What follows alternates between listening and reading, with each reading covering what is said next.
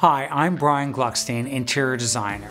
I own a firm called Gluckstein Design in Toronto, Canada. I find a monochromatic space to be a calm space. In this beachfront home in Palm Beach that we're at, it was about being this relaxing, calm, peaceful environment.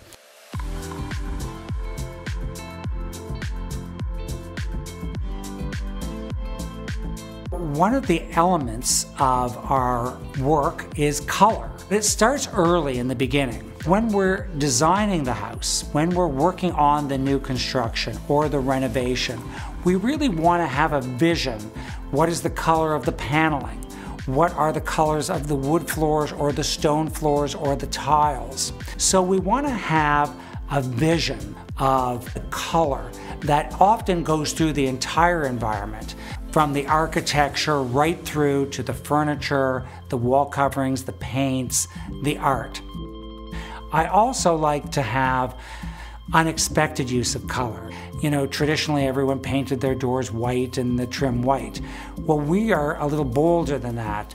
In the environment I'm in now, a relatively monochromatic scheme and layers of creams with accents of green.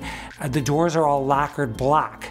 Now, in my book, um, The Art of Home, I have one area called the art of the monochromatic space. I love monochromatic spaces where we choose a color that goes through all the rooms. We've got these cream walls and different textures. We brought in pops of color and the tiger prints.